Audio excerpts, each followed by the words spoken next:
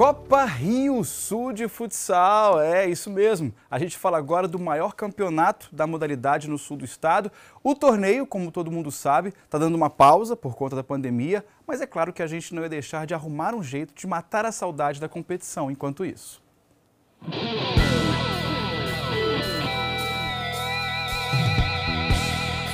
Saudade de uma quadra, não é, meu filho? foi tirar um doce da boca de uma criança, porque parar tudo foi algo que, tipo assim, caraca, a gente ficou meio, fica meio sem chão. A pandemia interrompeu a Copa Rio Sul de futsal em março do ano passado. Para quem se acostumou a viver fortes emoções com a bola, não deve estar sendo fácil ficar longe desse clima de competição. Está sendo uma coisa nova para a gente. Espero poder voltar o mais rápido possível. Né? Nossas equipes percorreram o sul do estado para conversar com atletas de todas as cidades participantes e saber como eles estão passando por esse período sem a Copa.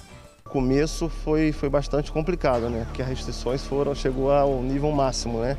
A gente infelizmente não tinha como praticar esporte, a gente estava dando uma caminhada, dando uma corrida. E descobrimos histórias surpreendentes. Tem gente que aprendeu a lutar e andar de skate para matar a saudade de uma adrenalina.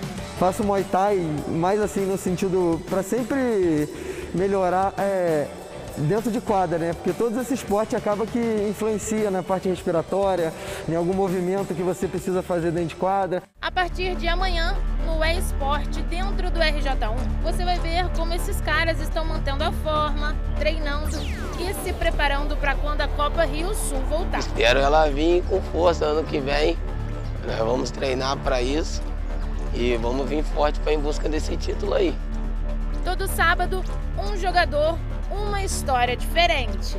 Eu, longe das quadras. Não perca!